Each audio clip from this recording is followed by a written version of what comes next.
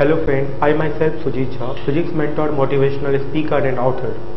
Today we discuss about question number 60 of IE Irodor.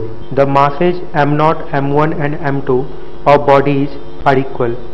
The masses of the pulley and the thread are negligible and there is no friction in the pulley.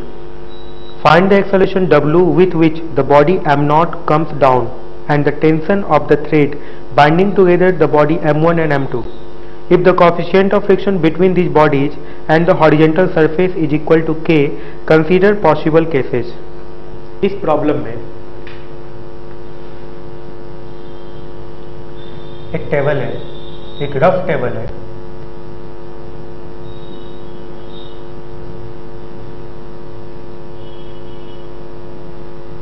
ये m not मास है ये m1 मास है ये m2 मास है इस table का friction coefficient के दे रखा है। एम नॉट जी नीचे लगेगा। इस क्वेश्चन को हम एक अलग तरीके से बनाते हैं। इसको हम कुछ इस तरीके से सोचें कि ये m नॉट मास है, ये एम वन मास है और ये एम टू मास है। एम नॉट जी इस तरफ़ लगेगा, जैसे कि इसमें लग रहा है एम नॉट जी और एम वन पे फ्रिक्शन लगेगा। Friction K M1 G M2 पे फ्रिक्शन लगेगा. K M2 G M naught G का वेट M नॉट जी M1 का फ्रिक्शन फोर्स M1 पे जो फ्रिक्शन फोर्स लग रहा है, K M1 जी लग रहा है. M2 पे जो फ्रिक्शन लग रहा है, वो K M2 जी लग रहा है. ओके इसको हम इस डायग्राम में बनाएँ. इस पे फ्रिक्शन लगेगा K M1 जी इस पे फ्रिक्शन लगेगा के एम टू जी। ठीक ये एक सिस्टम बन गया।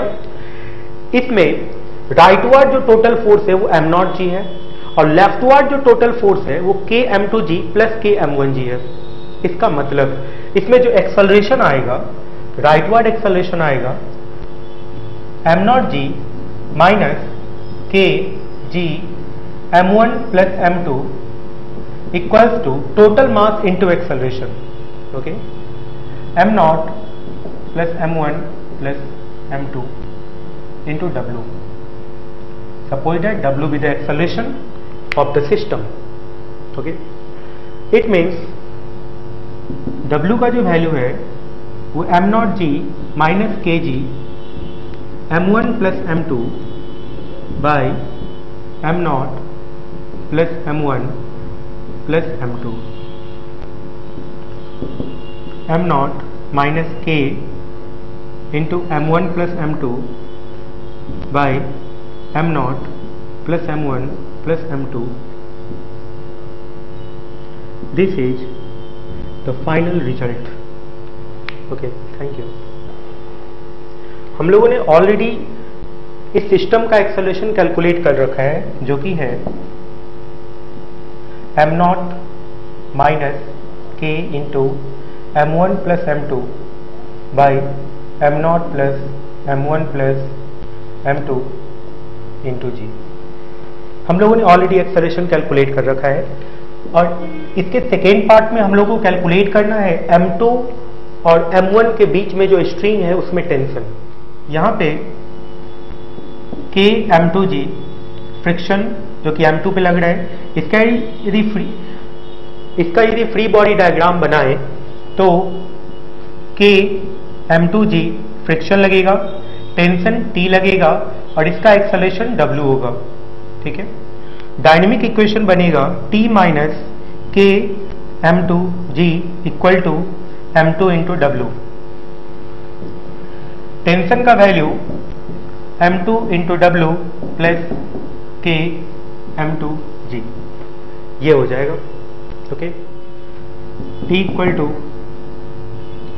M two W plus K G M two acceleration का वैल्यू हम यहाँ से पुट करते हैं, जो कि M naught minus K M one plus M two by M naught plus M one plus M two और यहाँ पे के आ जाएगा। यहाँ पे एम टू जी को कॉमन ले लें। जी को कॉमन रख लिया है मैंने।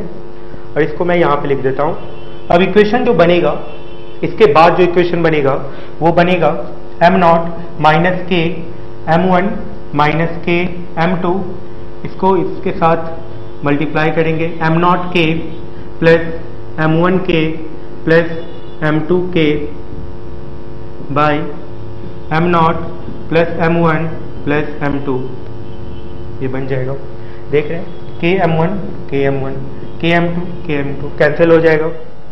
जो फाइनल कैलकुलेट होगा, वो होगा T equals to M two G M naught plus K M naught by M naught plus M one plus M two मैं इसका फाइनल रिज़ल्ट यहाँ पे लिख देता हूँ। टेंशन का वैल्यू आएगा। टेंशन जो कि M1 और M2 के बीच है, उसका वैल्यू आएगा M naught into M two G K plus one by M naught plus M one plus M two ये इस प्रॉब्लम का आंसर होगा।